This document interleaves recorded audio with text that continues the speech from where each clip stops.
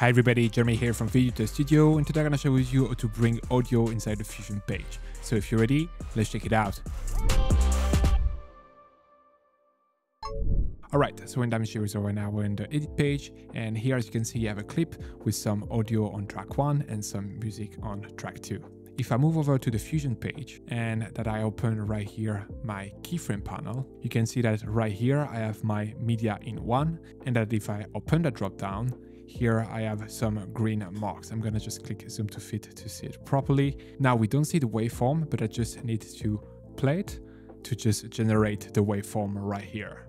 And as you can see, we have the waveform, but also the audio that has been carried over from the edit page to the Fusion page. But right now we are in our main video clip. Most likely you will want to use that Fusion option on a Fusion clip or on a new Fusion composition or an adjustment clip. So let's bring a fusion composition and see how it works. Now, if I select my fusion composition and this time I go over to the fusion page, as you can see, I have nothing that has been carried over right here to the fusion page. So if we play it, we don't have any sound. This is very easy to fix. You just need to bring a new media in node and use it just as a placeholder for your music. So here you're gonna hit shift space on your keyboard and you're gonna search for media in and bring that media in in your working area.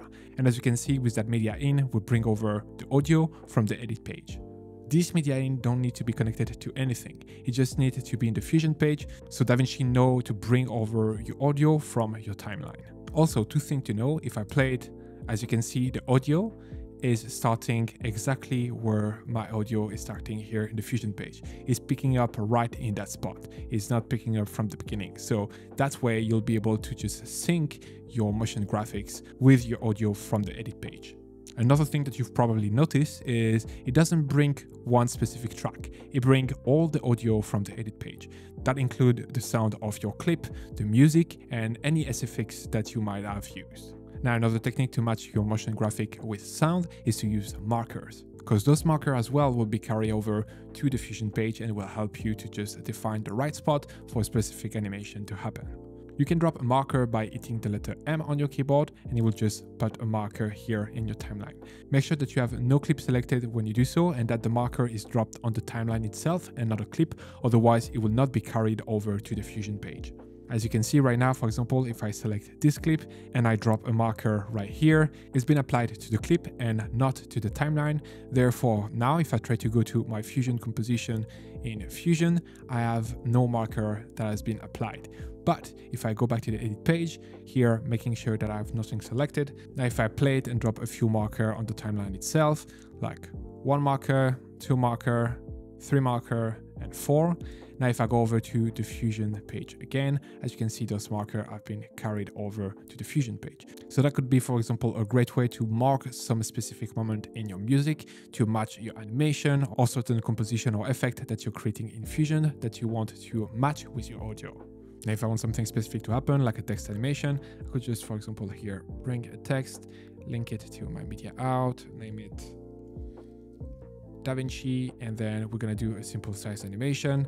And I know I want that animation to start at frame 19 here on my marker, for example. So I'm gonna go at frame 19. Here I'm gonna drop the size to the minimum, drop a keyframe, and then go a few frames forward. So for example, here I know I want it to finish at frame 44. So I'm just gonna take my cursor, bring it to the marker, and then here we're just gonna a keyframe on the size. And now we've been very precise on where we've dropped our marker and our keyframe, and be sure that we have everything synced with our audio. And that's pretty much it. Hope this video was helpful. Please don't forget to like and subscribe. Let me know in the comment what kind of video you'd like to see next, and see you in the next one. Bye! Speed up your workflow and create better videos using the pack available on our website, including titles, transition, and templates built only for DaVinci Resolve. Get started today by downloading our free starter pack that contains over 150 elements. Link in the description below or at videoeditorstudio.com.